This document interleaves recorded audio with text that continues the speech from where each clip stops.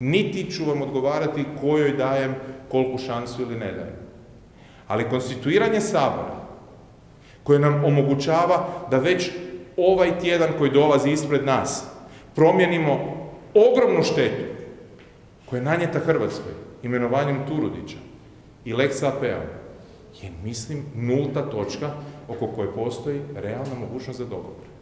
A onda nakon toga nam Ustav daje vremena da probamo dogovoriti neke druge stvari. Kako će to završiti? Ne mogu prejudicirati. Zašto ste ne